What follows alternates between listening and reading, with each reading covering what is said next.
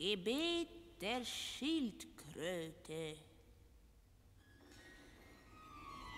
Geduld, Herr, ich komm ja schon. Ah, Man muss seine Natur nehmen, wie sie ist. Ich habe sie nicht gemacht. Ich möchte keineswegs dieses Haus auf meinem Rücken kritisieren. Es hat sein Gutes.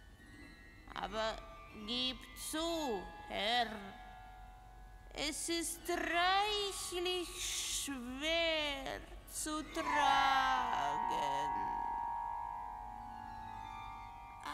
Ja, lass diesen Panzer und mein Herz, diese doppelte Mauer, für dich nicht ganz undurchdringlich sein.